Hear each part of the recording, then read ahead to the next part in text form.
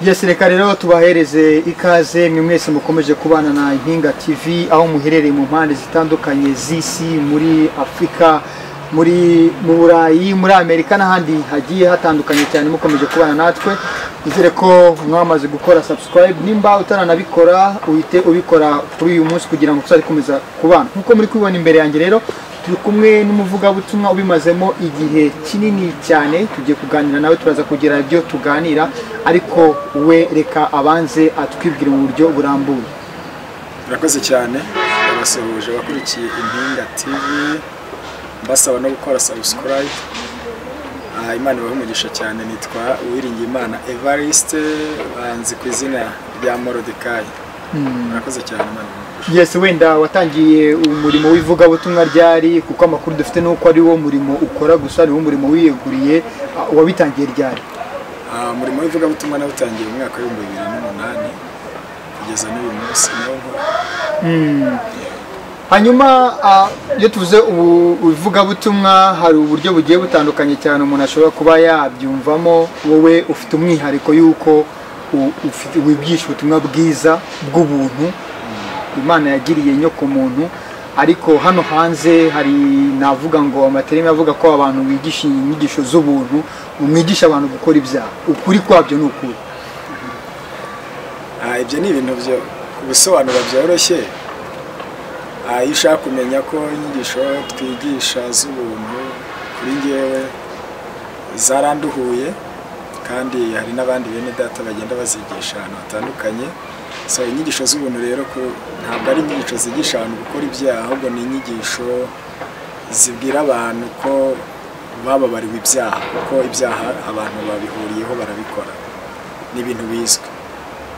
Ah, numva ari cyo navuga ku bijyanye no kwigisha gukora ibyaha ntabwo ubutumwa bwiza bw'ubuntu bwigisha abantu gukora ibyaha ko na paul ni bwo yigishaga. Rero ntabwo buvuga gukora ibyaha ahubwo buvuga kubabarirwa ibyaha ndetse bukavuga urukundo imana yakunze inyokomuntu yose nk'uko wahoze ubivuga kandi bukavuga umurimo imana yadukoreye muri kirisito yesu ubwo yazaga hano ku isi. Nicyo gisobanuro cy'ubutumwa bwiza. Mm. akenshi ni ukuvuga ngo wenda ah, mukunda gukoresha imvugo y'uko kirisito yarangije umurimo yagombaga gukorera inyoko muntu yarabirangije. Ni ukuvuga abantu bagahita bavuga bati none se nimba yarabirangije abantu baba bara- barababariwe? Bakora ibyaha noneho kuko yabirangije. Ntibakagombye kongera ngo bakomeze gusaba imbabazi bimeze gute? Iyo mwigisha mwigisha gute? Ya urakoze cyane. Ntabwo yesu koko yarabirangije. Yarabirangije nta nubwo ari twebwe tubivuga yenda nkaho ari twe bikomokaho ni we ubwe wavuze ko birangiye. So ibyo yararangije rero biranasobanutse muri bibiliya ni ibyo amategeko yasabaga umunyabyaha kugira ngo ahinduke umukiranutsi. Hari amategeko amategeko ya mose n'amategeko y'ibitambo Ah, kugira ngo umuntu yemerwe hari ibintu byasabwaga kugira ngo imana imwemere. Icyo yarangije rero ni icyo amategeko yasabaga kugira ngo umuntu yemerwe imbere y'imana. Rero ah, ikijyanye no gusaba imbabazi impamvu abantu basaba imbabazi ni uko bari abanyabyaha. Hanyuma impamvu dushobora kuvuga ko gusaba imbabazi atari ngombwa uzisaba imana ni byo tuvuga. Nta- nta- ntabwo ntekereza ko cyaba ikibazo cyane kuko umunyabyaha ni ukwiye gusaba imbabazi utarakuweho ibyaha kandi abakristo benshi bemera ko yesu yaje ku isi kugira ngo akureho icyaha. Yohana niko avuga ubutumwa bwiza bwa yohana igice cya mbere makumyabiri n'icyenda aravuga ngo dore umwana w'intama w'imana ukuraho ibyaha by'abari mu isi. Icyo ni ikintu gisobanutse ko yesu yaje gukuraho ibyaha hanyuma ikibiduhesha no kwizera. Mm. hanyuma gitwaza paul ni umwe mu bigisha bakomeye hano muri iki gihugu ndetse afite n'amashami atandukanye cyane mu bihugu byo hanze.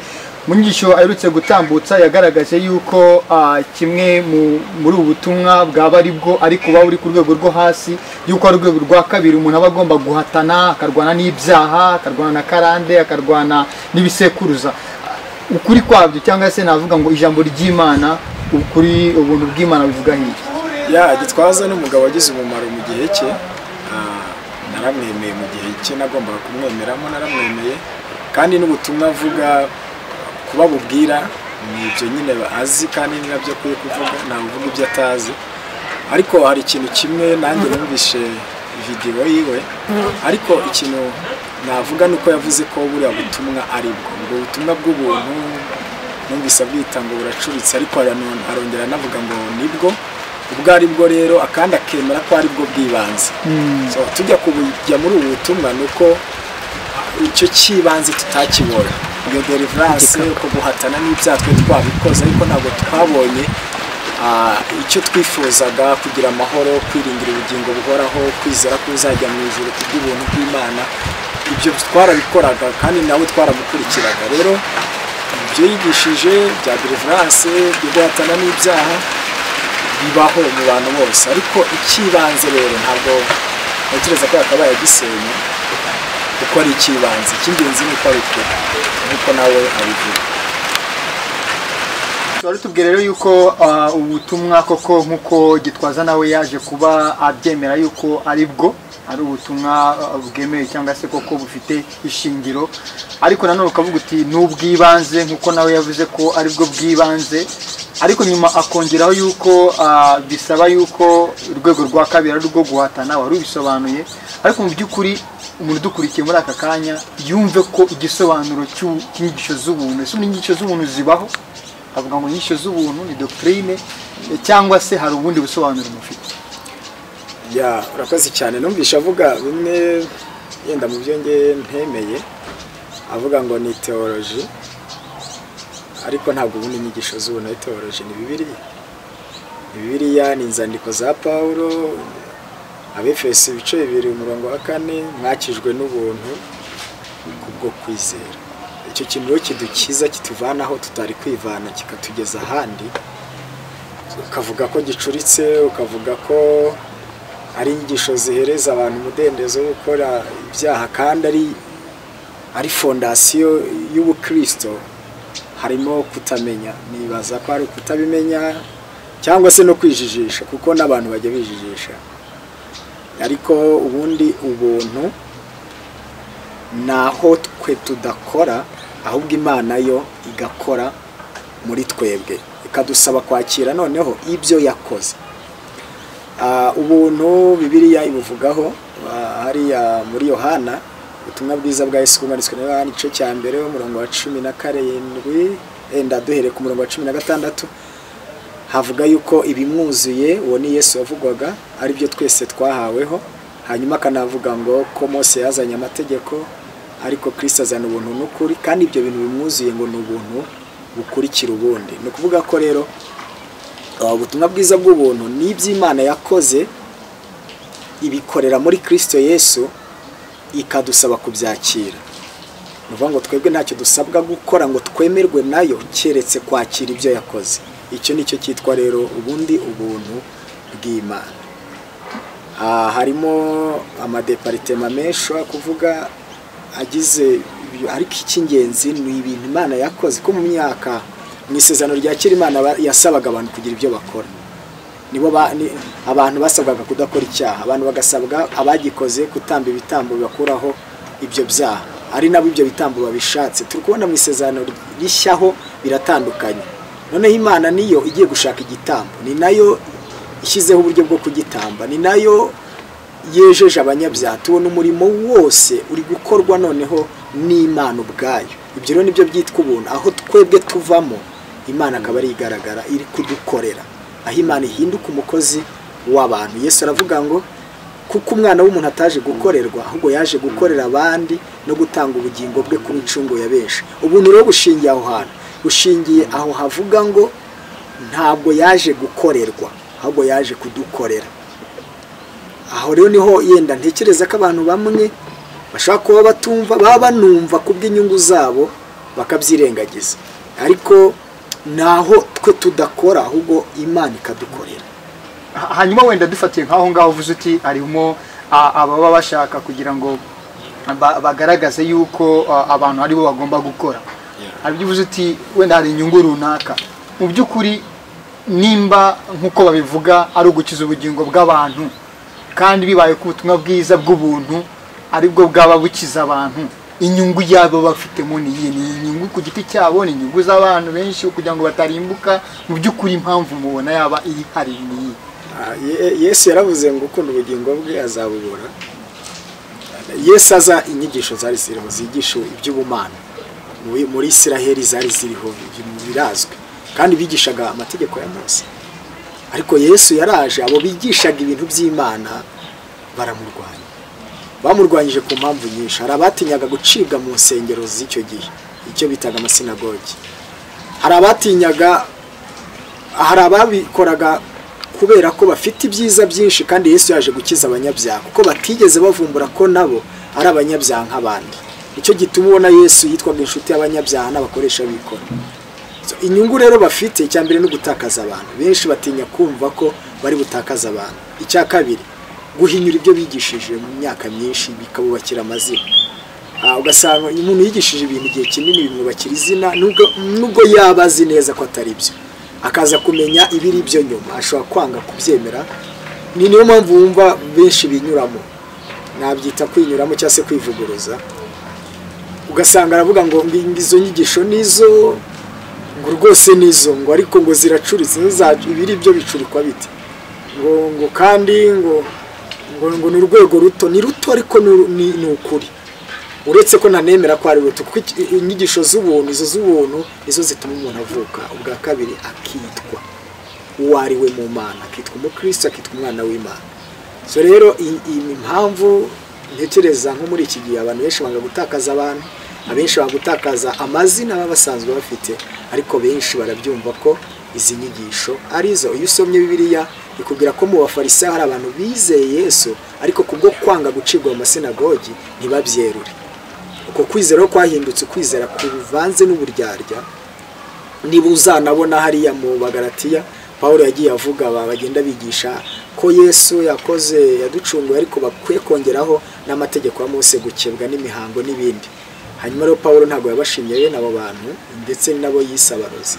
Yaravuze ngo yemwe bagaratiya abapfapfa ninde wabarozi Ah, mwatangije iby'umwuka none mwerekeje iby'umubiri. Iby'umubiri paul yavugaga ntabwo ari iby'umubiri nk'iby'isi nk'uko abantu babitekereza ahubwo ni inyigisho zishingiye ku bikorwa bya muntu ngo umuntu atsindishirizwe. Ya ni uko nguko. Hanyuma hari ikintu wari uvuze yuko bari bafite ubwoba cyangwa se hari ababikora kugira ngo badacibwa mu masinagogi umwe mu bantu baciye mu isinagogi mu wahoze muri adeperi waba warazize kwigisha izi nyigisho? Yenda ababikoze bo barabizi cyane. Ababikoze bo barabizi cyane rwose cyane ko ari cyo nahowe nahowe kwigisha ubutumwa bwiza nawe n'abapasiteri benshi baramugura bansaba kubireka.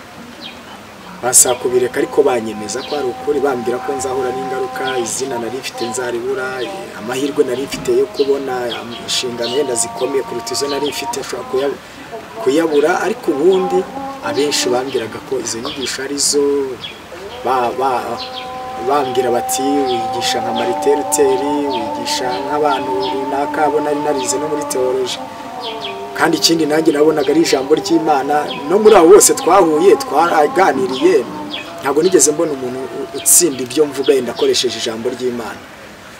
N'abagerageje gushaka gusa nk'abatsinda bageragezaga gukora ariko bafata imihango y'idini ryabo barimo akaba ariyo bashaka kuzana ngo izo nyigisho zisenya imihango y'idini ryacu.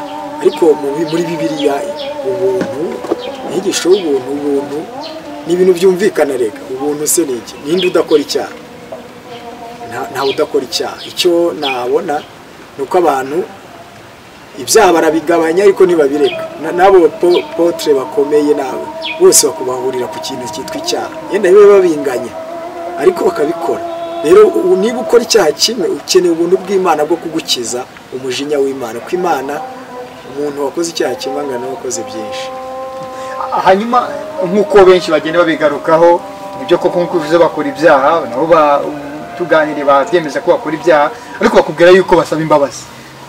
Ba- iyo babikoze nyine babisabira imbabazi. Ese ibi ngibi byaba bikuraho nyine ibyo byaha baba bakoze? Uko ni ukwishuka. Iyo gusaba imbabazi biza kuba bikuraho icyaha yesu ntiyari kubambwa. Kuko yesu yabambwe kugira ngo icyaha kive ku muntu. Ubwo rero yabambwe gusaba imbabazi bizwi. Iryo jambo gusaba imbabazi byari bizwi. Rero iyo ari kuza akigisha gusaba imbabazi cyangwa imana ntimutume igatuma intumwa zisanzwe zikigisha abantu ngo abananiwe kureka ibyaha mujye musaba imana imbabazi icyaha kizakibavaho bibiri iravuga mu baheburayo igice cya cyenda makumyabiri na kabiri ngo ukurikije amategeko ibintu hafi ya byose byezwa n'amaraso kandi amaraso atavuye ntabwo habaho kubabarirwa. Imana yabonaga igisubizo cyo kubabarirwa ibyaha kiri mu kumeneka kw'amaraso ya yesu. Uko rero gusaba imbabazi imana wumva ko biri bugukureho icyaha wakoze ni ukutamenya icyo amaraso ya yesu yakoze kuri wowe. Uko kutamenya kandi nako kutizeranye. Hanyuma mu gitabo cy'umugenzi bagaruka kuri mwigisha amategeko bivuze yuko abangaba babwira abantu cyangwa se abigisha gukora bishingiye ku byo bakoze bidashingiye ku gusobanukirwa neza igikorwa kirisito yakoze baba neza bahamanya cyangwa se buzuzanya n'uyu mwigisha amategeko bo baranacanganyikiwe cyane ab'iki gihe nta nubwo ari bamwigisha amategeko mwigisha amategeko ni umuntu nyine uvuga ko ibyiza wamutubwiraho gatoya ku gitabo cy'umugenzi usa n'ubihuza n'ibingibi. Ubundi ni ahantu umukristo yageze ahasanga umugabo ngo mwiza cyane witwa bwenge bw'isi amubwira ko umutwaro umukristo ahetse ko yavaga mu mudugudu w'irimbukiro ashobora kuwukurwa ahantu hitwa kwamwikirisha amategeko. Ngo habaye abantu b'ingeso nziza. Umukristo ahageze ntabwo yahabonye yarakomeje aragenda agera ku musozi witwa sinayi ari wo bivuze nyine mu mategeko ya mose. Ahubwo umutwaro urushaho kumuremerera. Uko niko natwe twaje nyine. Twatangiye tuzi batubwira ngo ibyaha mubireke muzajya mu ijuru ukora ibyaha ntiyajya mu ijuru. Tugezemo muri ayo madini twari turimo dusanga nabo bakora ibyaha birenze ahubwo n'ibyo twanakoraga mbere. Dusanga nabo barabikora. Twibaze se uriya akatubwira kureka ibyaha nawe abikora ubwo kureka ibyaha bibaye bijyana umuntu mu ijuru yajyayo. So tumara igihe kinini mu gihirahiro bariya rero se nta abaporotesitanti muri rusange nta nubwo ari bamwikirisha amategeko nyirizina kuko n'amategeko ntibayajyamo. Tuvuge urugero umuntu aravuze ati ntukice itegeko ryo gusambana.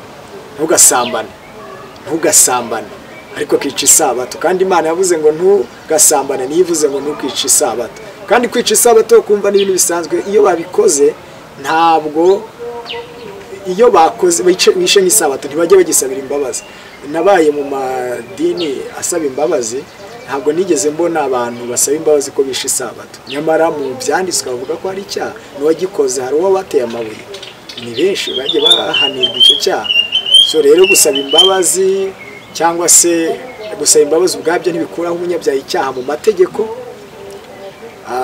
ndetse no mu buntu ntabwo bikuraho umuntu icyaha kuko bishoboka imana n'ibyo iba yarakoze. Kuko ntabwo Yesu ari kubabazwa ku bitwa hondagurwe ziriya nkona pfe rupfu byari bibabaje ku babisoma na filime zibikina zigaragaza ko byari bibabaje. Rero ntabwo bari ari bamwikirisha amategeko n'amategeko ntibayarimo neza.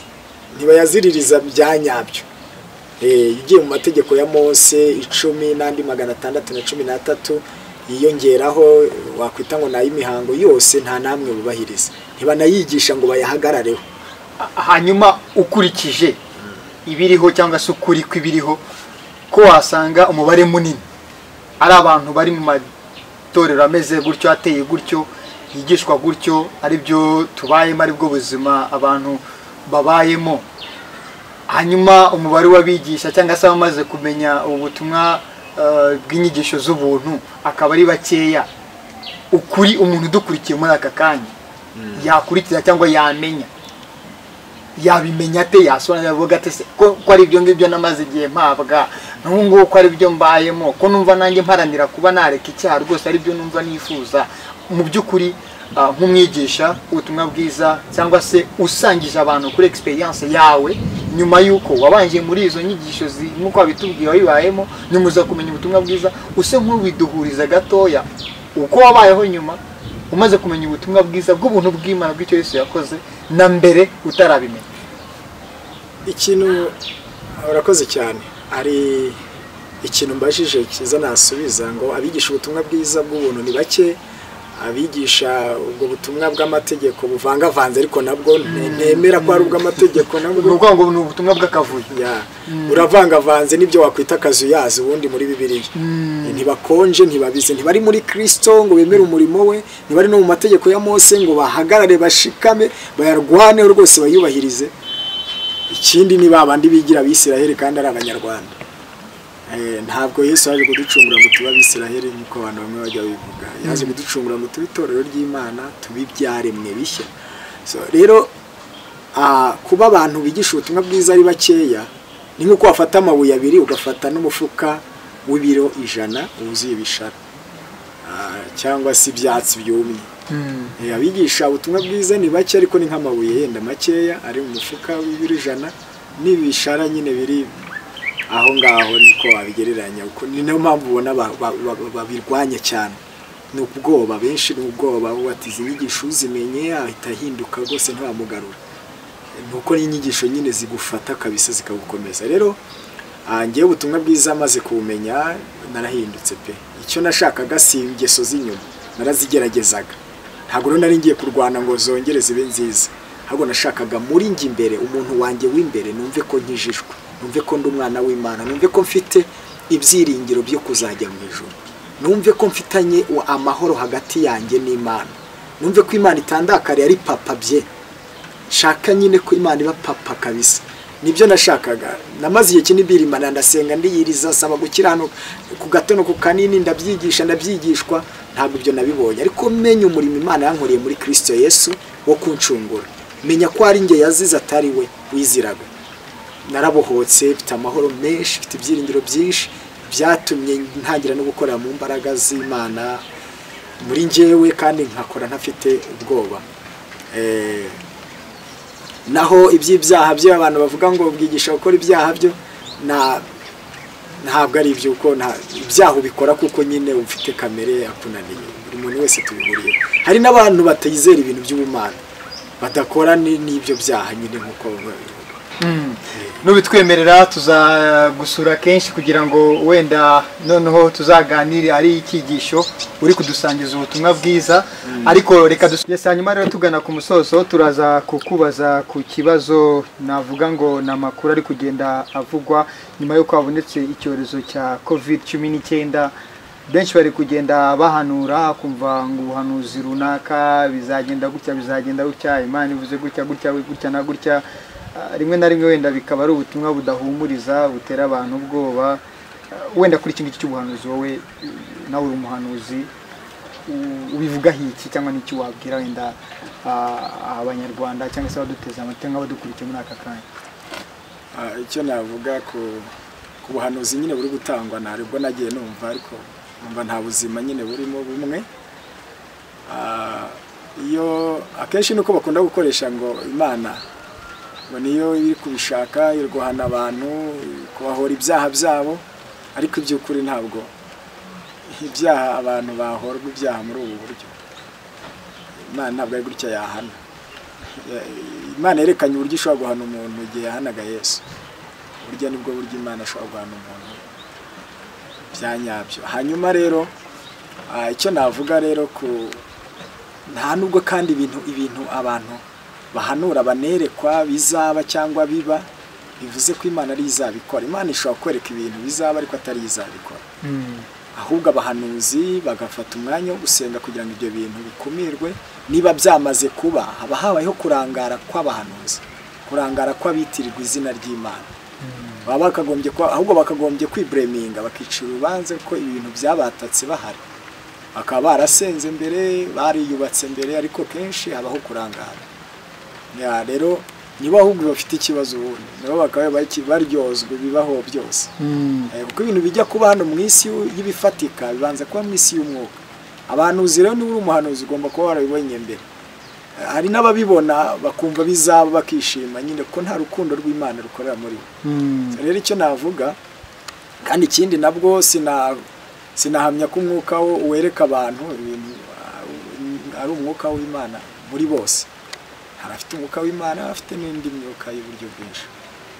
Ariko ibi byago biri kubaho ni umwanzi ubitera ni umwanzi ubitera ni sisiteme y'isi isanzwe yashyizweho nyine.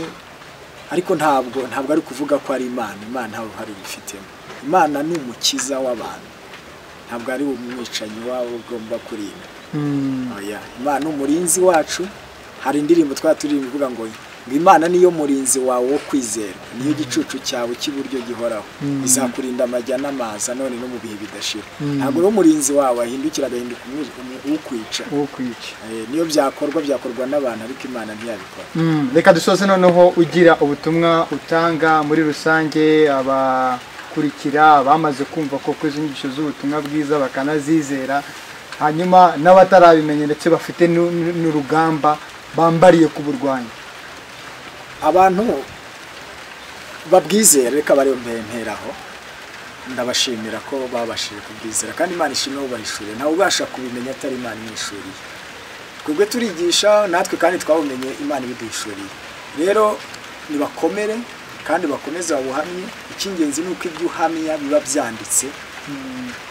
Ikindi kandi bamenye ko dufite amasezerano abiri iryarangiye n'iryatangiye. Isezerano ryarangiye hakaba n'isezerano ryatangiye. Ese bari mu ryarangiye cyangwa bari mu ryatangiye? So, nitujya mu isezerano ryatangiye ibyo duhamya ni ukuri. Nitujya mu isezerano ryarangiye ushobora no gusanga ari ibinyoma ariko mu ryatangiye ryitwa rishya isezerano rishya. Ibi bintu ni ukuri ijana ku ijana. Ubirimo inyigisho z'ubuntu ashikame ntatinye abakomeye babirwanya aboroheje uburyo bwo ari bwo bwose no kubeshyerwa ko twigisha gukora ibyaha n'abaye mu madini baratenga buri munsi. Bose babikora babibwiwe nande ko ayo madini nta batabyigisha. Rero abatarabimenya nabo icyo mbashishikariza ni uko batemera kuba impumyi kuyoborwa nk'impumyi. Bafite bibiliya nkunda abaporotesitanti afite bibiliya buri muntu wese afite uburenganzira bwo kuyigura agenda asome. Asome isezerano rishya asubiremo abyumve neza. Nu- nujya no guhangana n'umuntu ko ari kukwigisha ubuyobe banza urebe ese ibyo avuga biranditse? Ese ibyo avuga umwami hari icyo yabivuzeho intumwa pawulo n'abandi hari icyo babivugaho? Wihangane ushingiye ku myumvire y'idini. Wihangane ushingiye ku izina ryawe nitwa runaka ndakomeye. Aho guhangana ushingiye ku byanditswe byera. Nibwo uzatsinda cyangwa ugatsindwa. Nutsinda uzatsinda by'ukuri. Nutsindwa uzatsindwa by'ukuri ibi byanagukiza ariko nuhanganisha idini ngende umuzayoni ngende umurestoration ngende umuhadeperi akaba ari byo uhagararaho. Iwacu twitwara gutya ariko se muri bibiliya ho havuga ngo iki? Aba ari byo abantu barebaho muri bibiliya. Eh, ni- reka tugushimire cyane. Ya urakoze cyane ndabashimiye. Kandi nshimira n'abakora iki kiganiro. Bakomeza gukora subscribe ku mpinga.com murakoze cyane. Impinga tv impinga tv Eh. murakoze cyane. Impinga tv mukomeze gukora subscribe kandi muhawe ikaze rwose imana y'umugisha yes. Reka rero tugushimire cyane ko wahisemo kubana natwe wahisemo gukurikirana kino kiganiro tugiranye na moredekayi izere kandi ko uzakomeza kugenda ukurikirana ibindi biganiro byose tuzagenda tubagezaho nta kindi bisaba bisaba gusa ko ukanda kuri subscribe kuri ako kantu k'umutuku hanyuma n'akantu kakazogera kugira ngo uzajye ubasha kumenya ngo ni video runaka dushyizeho tukazakomeza kugirana ibihe byiza cyane. Hanyuma ikindi ni uko uramutse ugize ikibazo mu kiganiro twagiranye n'uyu mukozi w'imana uraza kubyandika muri comment kugira ngo ikiganiro cyacu cy'ubutaha tuzagirana nawe. Tuzabe dufite kuba twamukubariza icyo kibazo ukagisubizwa mu rwego rwo kugira ngo turusheho kumurikirwa n'umucyo w'imana umucyo w'ijambo ry'imana. Imana amahoro ibane namwe genda Gilbert gatete.